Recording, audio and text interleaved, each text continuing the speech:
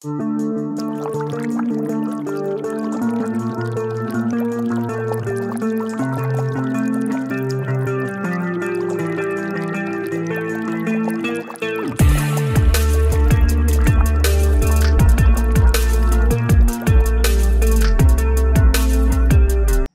friends, welcome back to the Crusty Cranks lure painting videos and today we're going to be doing CC004 the blue-green shad.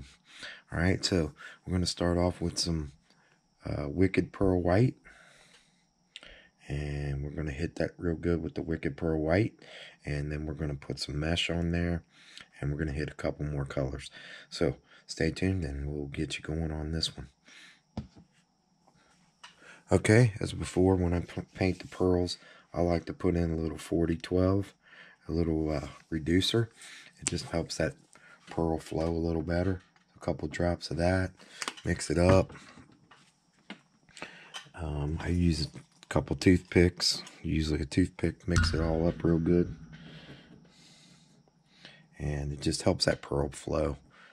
That pearl essence in there, once the tip dries sometimes, clog up your tip and um, I'm going to shoot this one with about 25 pounds pressure because I'm going to coat the whole thing. And I'm doing this on a square bill.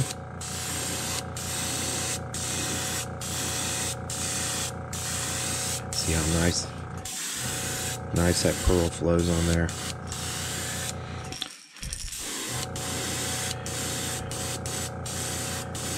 You don't need a lot because we're going to cover most of it, but we definitely want to get the belly real good. And we'll probably have to come back and hit a little white just to hide the screen mesh where it drifts down. But we'll see what it looks like.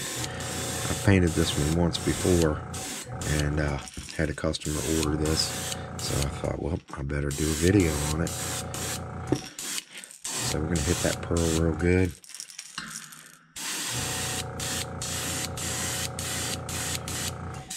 and we're going to dry it because we're going to put the mesh on and we don't want to scratch the pearl.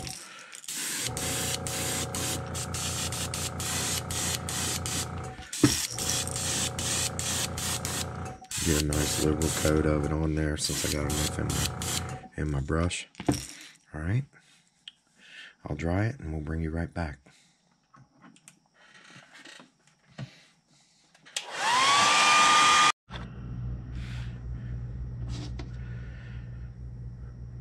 Okay, so next we're gonna we're gonna stretch this this mesh on here and give it kind of a scale pattern.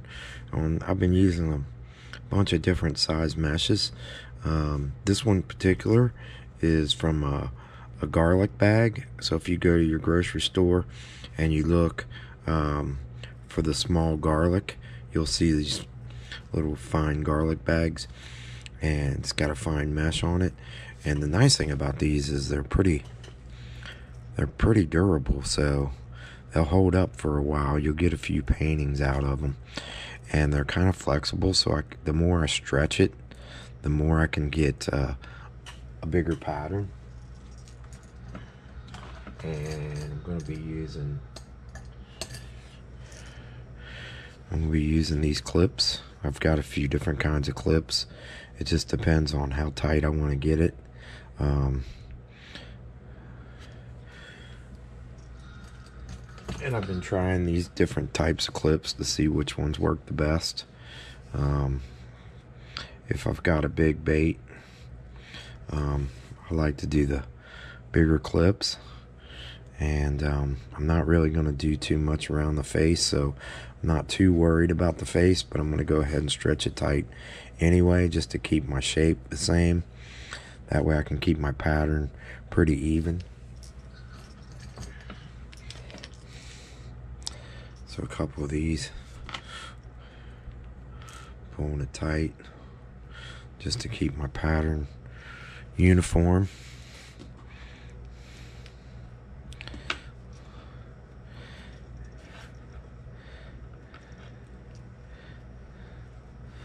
I'll tuck it and roll it and I'm gonna I'm gonna hit the face anyway with a over with a little overcoat after I get it done so no big deal on the face tucking it back here kind of the same way towards the tail. I'm gonna I'm probably gonna put a little shading on top of it.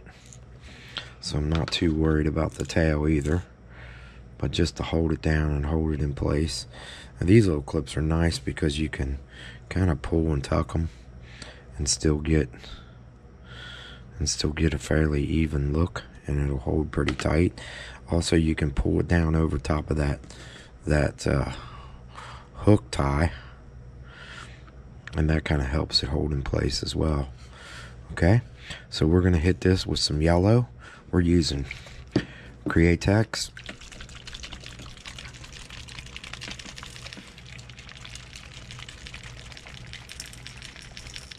We're using Createx transparent bright yellow. Right? And we're not going to dry this. We're going to spray this on and it's still going to be kind of wet and then we're going to hit it with the blue and that'll create that little green green vignette of color. All right let's get our get our yellow coming out and I'm going to turn my pressure down because I don't want to spray under. If you blow real hard spray real hard you'll sometimes you'll blow under your mesh a little bit. Let's see, I got a little bit right there. I probably need one more clip. Let me get one more clip on here.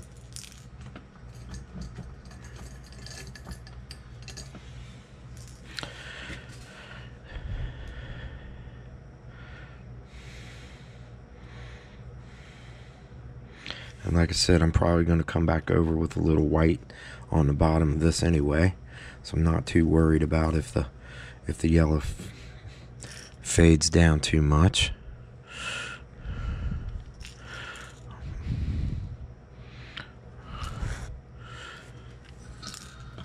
But I do want it stay even. My scale pattern, so getting my clips on there nice. And also gives me something to hold on to. Okay? So there we go. Again, this is just a garlic mesh bag. Um, and we got a, we're shooting about 15. And I'm just going to come down. Leave a little bit of that yellow bleed down the side. It's not going to take much at all.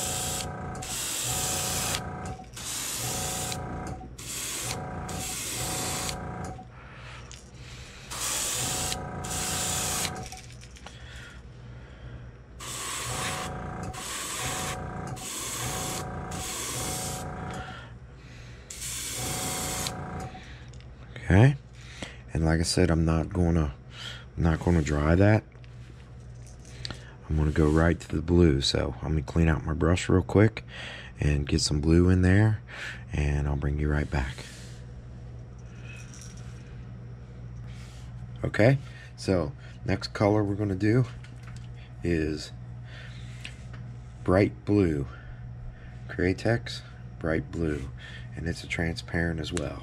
So we're going to come back over top of that with a little bright blue.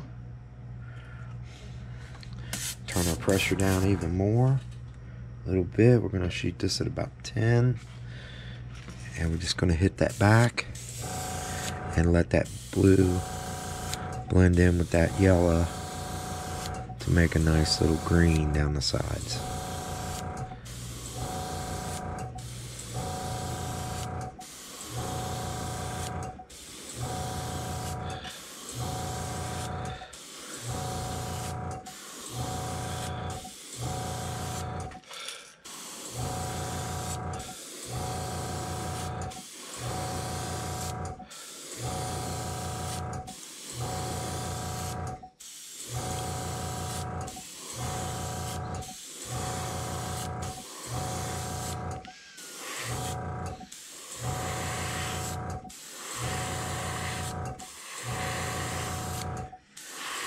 can see those two colors blending together.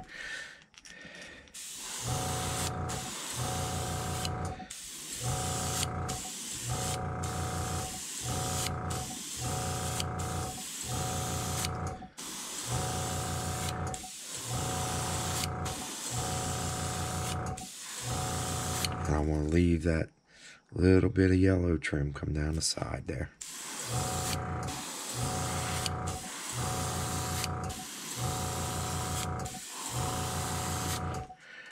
Oops, sorry, I didn't mean to hit the camera. Let's hit this nose around the eye. And we're going to come back over as soon as we take the mesh off.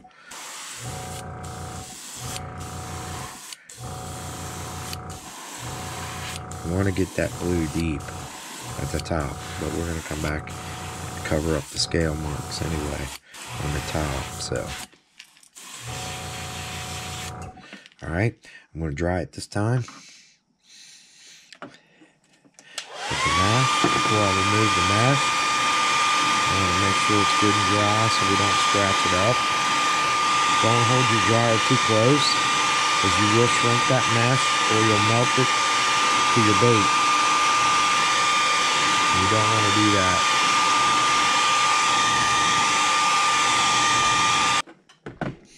Sorry about the dryer, but I did want to bring that point across. The other thing is, is I don't want to dry it too much to dry that yellow out so I get that nice blending of the yellow and the blue. You'll see that when I take the mesh off. But also you can shrink your mesh and then when you hit your next color, it's gonna it, you're gonna cover up your screen. So um, yeah. So let's take this off let's see what it looks like. I'm really liking the way those are blends are coming together.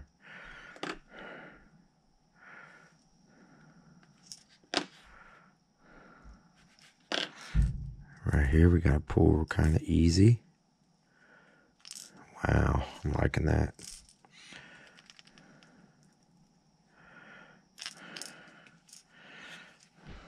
Nice. Nice. Okay, so what we're going to do is we're going to hit a little blue around the eye and we're going to come down the back just a little bit. We're going to leave this pattern to the side. Okay, so we're going to get the face, we're going to get the gill plates, and we're just going to put a little strip of blue down the back just to cover that. So we're just going to still use the same transparent blue.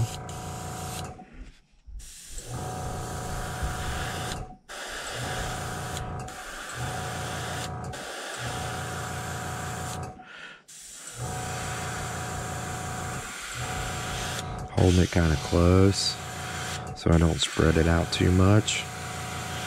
I want to get that dark blue down the back.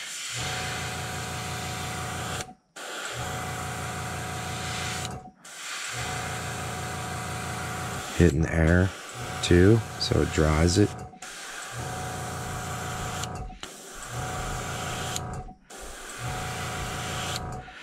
And let's get the eye. Bit on the gill plate. Other side, get the eye.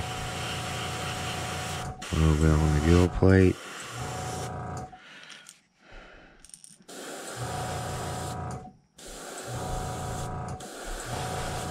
And a little bit under the chin.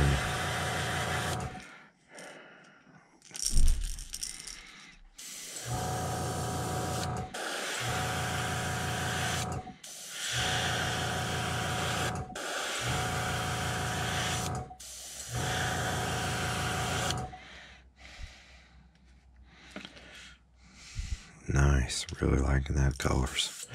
Let's hit the tip of the tail a bit.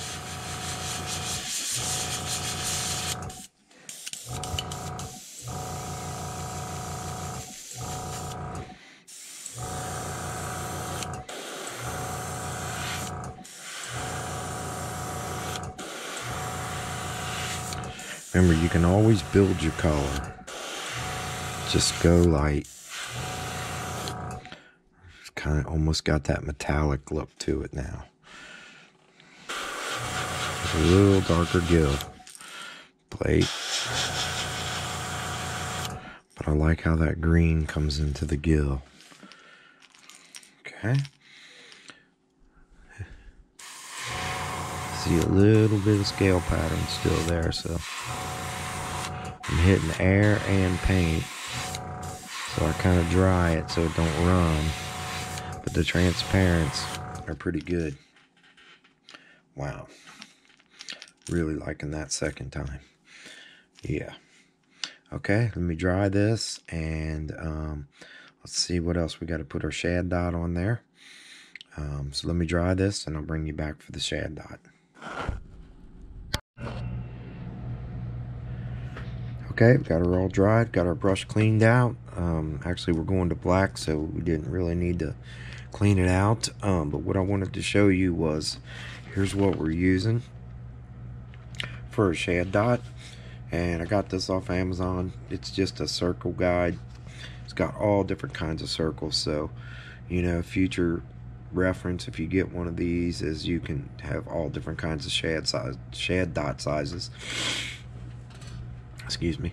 I know a lot of people just use a hole punch, um, but the nice thing about this is I can vary the sizes of my shad dots based on the size of my bait that I'm painting. So I left that kind of open to show you all the different sizes and and uh, I cover it with the painter's tape and um, that way I can uh, pick whatever size dot I want to use just by peeling off the painter's tape. Um, this for crankbaits, square bills, the three inch square bills I like to use this size dot right here as you can see I've used it before um, so yeah if you're looking for shad dots you know this is one way to create them um, we'll show you in future videos different ways to use them but you can use a q-tip you can use a the end of an X-Acto you can there's tons of things you can use to make shad dots but this is my go-to when I want to make a nice shad dot so um, we're going to put this shad the other thing is is by leaving this untaped right here I can use that to line up where my shad dot goes each time. So um, I'm going to take it off of here and put it on my rubber pad. I love using this rubber pad. If you guys haven't seen me I'm sure if you watched the other videos you've seen me use this. But this is pad was particularly cut out for this bait right here. So what I do is I cut it out just so it gives me something to recess my bait down in and set it set it down. And then I cut both sides so I can flip it over and put it in the other side um, so let's put her, and I, I can kind of tilt it a little bit if I'm working on a side or using a stencil or something that I want to put put uh put on there but I'm going to use this and almost I just kind of cover up put it right line it up with right, right where my eyeball is. If I want to put it there um, if I want to put it higher up I can use the line on the bait right there um, but I think this one I kind of want to put just behind the gill um, so I can get it the same every time I just use this little guide right here see where my eye is and um, I'm gonna put it right there use the guide to line up my eye get my black going I Better put the black in there first. Okay, a couple drops of black because I'm only going to need a little bit.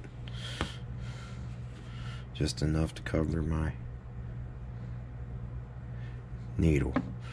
Alright. And not splatter on me. Turn my pressure down so I don't blow it up under the stencil.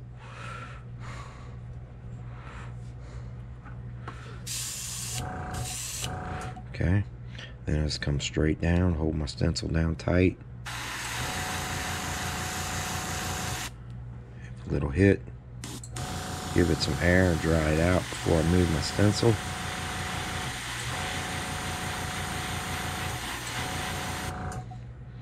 And lift it up. Nice little shad dot. Okay. Flip her over.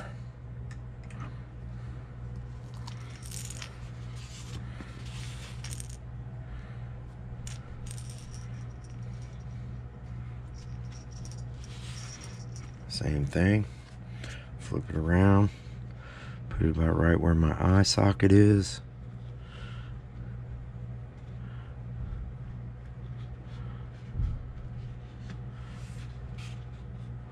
Let's see, let me tilt it a little bit just so I can see it a little better. Use that on the line. Push it down on there.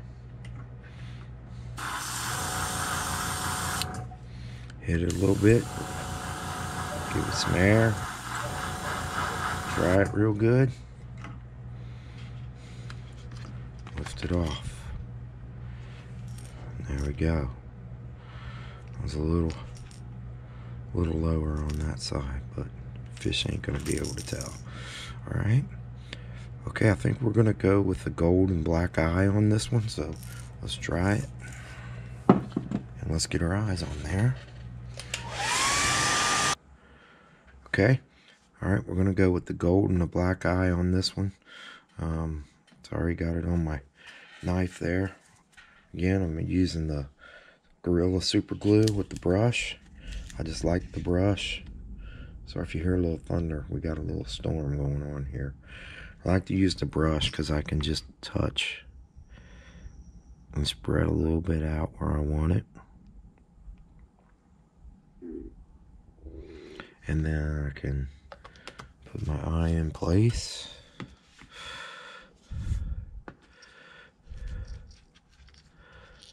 And let's see, this one's offset a little bit, so we're going to have him looking, we're going to make him look forward on this one. Touch the eye. Then I use my little burnisher tool right here. Put that eye in place. There it is.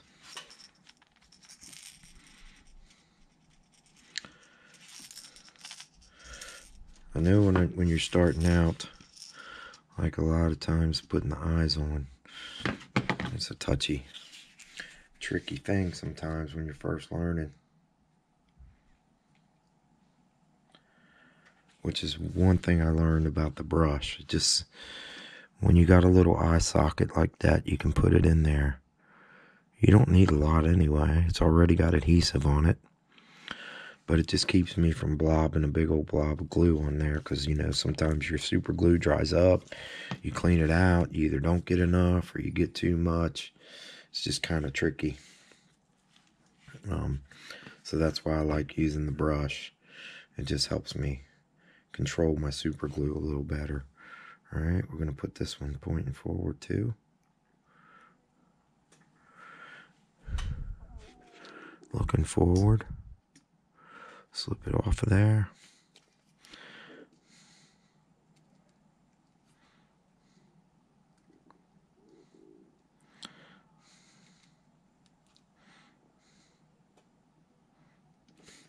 Get it in place. Then I take my burnisher tool, push it down in there, make sure I got it in there real good. And there we go. He's ready for, ready for epoxy. All right. The other thing I didn't, because this is the first crankbait, um, some people paint their bills. Um, I got a video coming up where I'm going to be painting a bill. But this one, um, particular one, I tape it off with the blue painter's tape. Um, as you can see, the eyes are pointing forward. Um, but, uh, yeah, I think we're ready to, for some epoxy. All right, bring you back and we'll do the epoxy.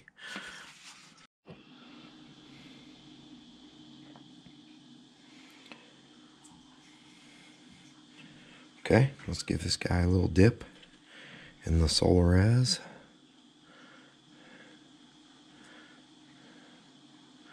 I always like to go down in twice just to make sure that I get the whole thing covered.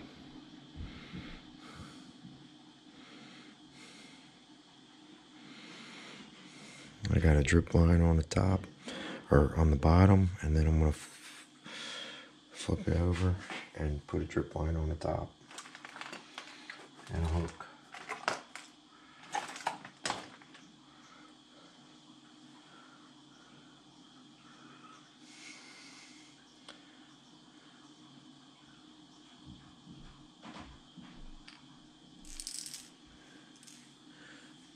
Look at the color popping out on that. Closer. Look at them blues come out now. All right, hang it up for the drip a little bit, and then we'll put her in the booth.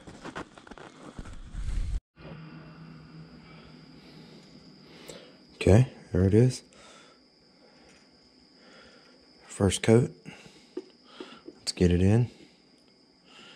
The UV booth. 30 minutes. We'll coat it again and we'll bring you back to show you the finished lure.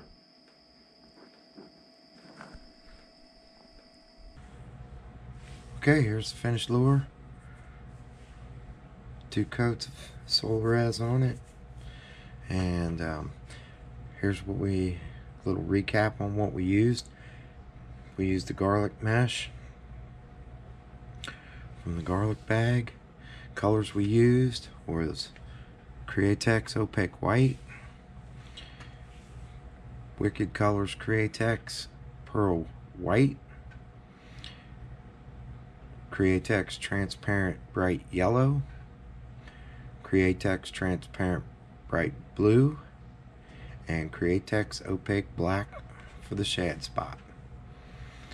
And we used yellow iridescent eye with black pupil.